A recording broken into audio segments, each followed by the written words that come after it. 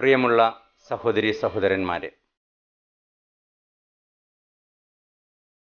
മരണത്തിന്റെയും വേദനയുടെയും നാളുകൾ അവസാനിച്ച് ഈശോ മൂന്നാം ദിനം ജീവനോടുകൂടെ മഹത്വീകരിക്കപ്പെട്ട ഉയർത്തെഴുന്നള്ളി. ഈ സത്യം യഹൂദർക്ക് മനസ്സിലായി. ശൂന്യമായ കല്ലറയുടെ അടയാളം മാത്രമല്ല അവന്റെ സാന്നിധ്യം അനേകർക്ക് അനുഭവപ്പെട്ടു. അവിടുത്തെ ഉയർപ്പ് നമ്മളിൽ നിരവധി ചിന്തകൾ ഉണർത്തുന്നുണ്ട്. സത്യമൊരിക്കലും മൂടിവെക്കുവാൻ സാധ്യമല്ല. അവയെ എത്ര മൂടിവെച്ചാലും അത് ഉയർത്തെഴുന്നേൽക്കും. സത്യത്തോട് ആഭിമുഖ്യമുണ്ടാവണം എന്ന് മാത്രം. പീലാത്തോസ് ചോദിക്കുന്നുണ്ട് എന്താണ് സത്യം? പക്ഷെ സത്യം കേൾക്കുവാൻ അവൻ തയ്യാറായില്ല. ഉടനെ പോയി അവന്റെ കരങ്ങൾ കഴുകി. ജനക്കൂട്ടത്തിന്റെ ആരവമനുസരിച്ച് ഈശോയെ വിധിക്കുവാനാണ് കൊടുത്തത്. ജനക്കൂട്ടത്തെ ഇളക്കി വിടുവാൻ ജനപ്രമാണികളും ശ്രമിച്ചു.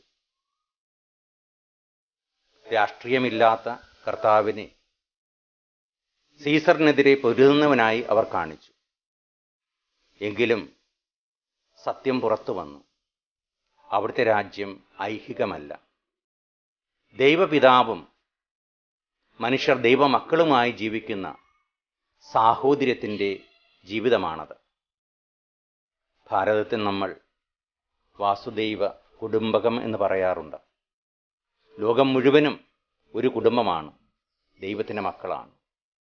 ദൈവത്തിന്റെ മക്കളാണ് എന്ന് നമ്മളെ ബോധ്യപ്പെടുത്തുവാൻ വേണ്ടി മാത്രമല്ല അത് സത്യമാക്കുവാൻ വേണ്ടിയാണ് കർത്താവിന്റെ പീഡാനുഭവവും കുരിശുമരണവും ഉയർത്തും.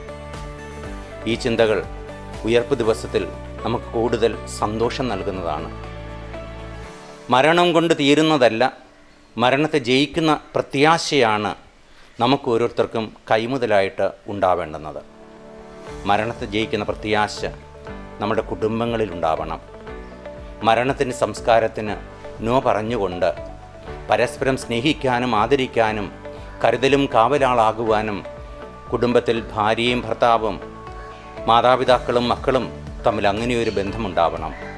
അവിടെ വിശ്വാസം അടിയുറച്ച് വളരും. നമ്മളെ നമ്മുടെ വിശ്വാസത്തെ തകർക്കുവാൻ ശ്രമിക്കുന്ന ശക്തികളെ ശക്തിപൂർവം നേരിടണമെങ്കിൽ വിശ്വാസത്തിന്റെ ശക്തി ഉണ്ടാവണം. കർത്താവായ യേശുവിന്റെ സാന്നിധ്യം നമ്മിലുണ്ടാവണം. ഉദ്ധിതനായ യേശു എന്നും നമ്മളോടുകൂടെ ഉണ്ട് പക്ഷേ അവിടുത്തെ നാം തിരിച്ചറിയണം.